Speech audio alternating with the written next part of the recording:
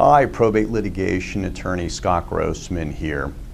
I often get calls from people who want to challenge wills and they're concerned about whether they can do that without getting disinherited. I'm going to separately discuss no contest clauses in another video, but what people often ask me is, is there something I can file to have the court tell me in advance whether a challenge to a will would get me disinherited? Well, California, up until very recently, had something called a safe harbor petition.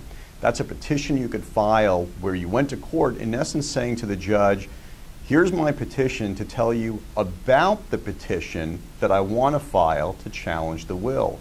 I want to know in advance, Judge, if that will be a contest. Well, California got rid of that a little over a year ago, and that's actually a good thing for people who are thinking about doing challenges, and here's why.